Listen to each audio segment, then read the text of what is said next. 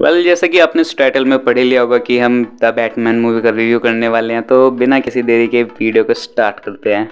ये मूवी कल यानी 4 मार्च 2022 को थिएटरों में रिलीज़ हो चुकी है। और मैं इस मूवी को फ़र्स्ट डे फ़र्स्ट शो भी देख चुका हूँ। वैसे तो मैंने इस मूवी के दोनों ही वर्जन देखे यानी इसका इंग्लिश वर्जन भी और हिंदी वर्जन भी। हाँ और जो इंग्लिश वर्जन के कंपेयर में इसका हिंदी वर्जन जो मैंने देखा है यानी इसकी हिंदी डबिंग मूवी की जो करी गई है वो बहुत बढ़िया करी गई है। वैसे तो ये मूवी पिछली बैटमैन्स की मूवियों से कनेक्टेड नहीं है, अलग ही यूनिवर्स में चल रही है मूवी पर अगर आपने पिछली बैटमैन की मूवी देखी नहीं है तो मे बी आपको ये मूवी बोर लग सकती है स्टार्टिंग के सीनों में और थोड़े मिड के सीनों में। जैसा हम सोच रहे थे कि इस मूवी में काफ़ी बढ़िया एक्शन सीन वी का यूज़ और अदर लॉट ऑफ़ थिंग्स हमें दिखाई जाएँगी। पर मैं एक बात क्लियर कर दूँ, ये एक रियलिस्टिक मूवी है, जिसमें हमें बैटमैन का डार्क वर्जन देखने को मिलता है।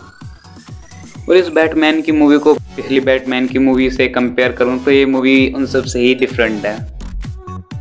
और बात करूँ इस मूवी की टाइमलाइन की तो वो तीन घंटे के आसपास है और इस मूवी की स्टोरी लाइन की बात करूँ तो इस मूवी के स्टार्टिंग के सीनों में हमें वही लगभग सेमी स्टोरी दिखाई जाती है जिसमें कि बैटमैन क्राइम को रोकता है। पर एक डिफरेंट चीज़ है, इसमें बैटमैन का एक डिफरेंट लुक दिखाया गया है हमें। और साथ ही इसमें बैटमैन हमें एक डिटेक्टिव की तरह काम करते हुए दिखाया जाता है। और इस मूवी में विलन की बात करें तो इस मूवी में विलन जो है वो रिटलर है, जो कि एक सीरियल किलर है। और इस मूवी में वो जितने भी मर्डर करता है, उसमें बैटमैन के लिए एक क्लू छोड़ता रहता है। और बैटमैन भी एक डिटेक्टिव की तरह इस मूवी में उसे ट्रैक करता है। और वो इस मूवी में से ट्रैक कैसे करता है, फिर उसे पकड़ पाता है या नहीं, वो तो आपको इस मूवी को देखने के बाद पता चलेगा। और इस मूवी में एक्शन सीन की बात करूँ तो जैसा कि वो उसे ट्रैक करता रहता है तो उसी के बीच में इसमें एक्शन सीन दिखाए गए हैं हमें। और जो ये टोटल मूवी है, इस मूवी के ज़्यादातर सीन नाइट में शूट करे गए हैं। आपको मुश्किल से दो या तीन सीन ही आपको मॉर्निंग के देखने को मिलेंगे इस मूवी में। एक तरीके से पूरा डार्क वर्जन दिखाया गया हमें बैटमैन मूवी का। और ये मूवी तीन घंटे की है तो आपको स्टोरी थोड़ी स्लोमो में चलती हुई दिखाई देगी। और हाँ इसमें इंटीमेट सीन ना के बराबर दिखाए गए हैं हमें। तो वैसे तो इस मूवी की स्टोरी किसी और बैटमैन की मूवी की स्टोरी से कनेक्टेड नहीं है, पर अगर आप पहली बार इस मूवी को देखने जा रहे हैं तो आप बोर तो ज़रूर होंगे। बट हाँ इस मूवी के मिड में थोड़े ज़्यादा एक्शन सीन इंक्लूड करे गए हैं तो उसमें आपको थोड़ा इंटरेस्ट आ सकता है। पर जो बैटमैन फ़ैन हैं, उनके लिए मैं कहना चाहूँगा कि ये एक बेस्ट मूवी है। और काफ़ी रियलिस्टिक मूवी भी है।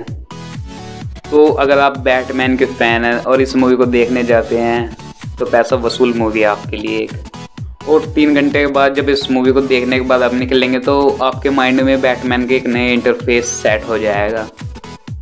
हाँ बस इसमें एक चीज़ ही मुझे अच्छी नहीं लगी, जो कि इसकी टाइमलाइन थी, जो कि तीन घंटे की थी। मेरे हिसाब से ढाई घंटे में भी मूवी कंप्लीट हो सकती थी, जिससे इसकी स्टोरी थोड़ी स्लोमो में दिखाई गई, वो थोड़ी फास्ट होती, जिससे कि जो फ़र्स्ट बेर कोई बैटमैन की मूवी देखने जा रहा है, उसे इंटरेस्टिंग लगती।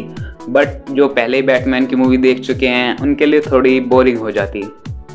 बट इस मूवी में एक बात कहने की है, वो ये है कि इस मूवी में जितने भी कैरेक्टर प्ले करे गए हैं, उन्होंने काफ़ी बढ़िया एक्टिंग करी है और ख़ासकर इस मूवी में जो बैटमैन का कैरेक्टर प्ले करा है रॉबर्ट पैटर्न ने। क्योंकि मूवी की स्टार्टिंग से वैसा ही सेम लुक और वैसे ही सेम एक्सप्रेशन लास्ट तक रखना कोई आम बात नहीं है। तो टोटल कंक्लूजन की बात करूँ तो ये एक best action adventure crime based movie है। तो आई होप आपको रिव्यू पसंद आया हो। और हाँ अगर आपको किसी और मूवी या फिर किसी और वेब सीरीज़ का रिव्यू चाहिए तो कमेंट बॉक्स में बताना ना भूले। तो इस वीडियो में इतना ही है। मैं मिलूँ आपको नई वीडियो में नई मूवी या फिर नई वेब सीरीज़ के रिव्यू के साथ। तब तक के लिए गुड बाय